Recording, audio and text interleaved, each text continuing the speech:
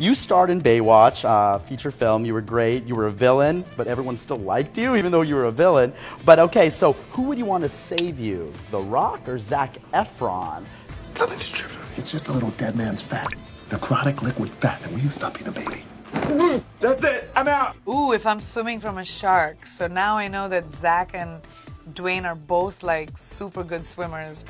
Um, but I feel like Dwayne would probably be able to pick me up with like one arm.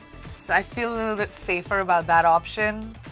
You know, he'd like just go woof and I'd be saved. Saved. And Zac, he, he might be like looking in the mirror or something. He like, no, Zac would have to put me on his shoulder and like then get me out. It would be a whole thing. So I think we'll just go with Dwayne if my life is on the line.